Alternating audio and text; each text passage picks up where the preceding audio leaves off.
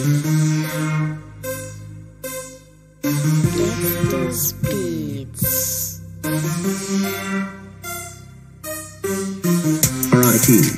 Stan the Man Lee. Making cameos in every Marvel movie. Very, very sad that this had to be. But it's clear to see how he made cast and staff feel like his family. Created Marvel in the 60s with his Project Harvey. Made Fantastic Four, some more, and Spidey. R.I.P. Stan the Man Lee. Making cameos in every Marvel movie. With the amount of movies increasing gradually. It is such a tragedy. Stan leaving, we had to see. In Avengers 4, where will he be? Looking down on the film said he won't be lonely. Up there chilling with Tupac, Harambe, and the dude from OxiClean. R.I.P. Stan the Man Lee. Making cameos in every Marvel movie. From comics to NY City.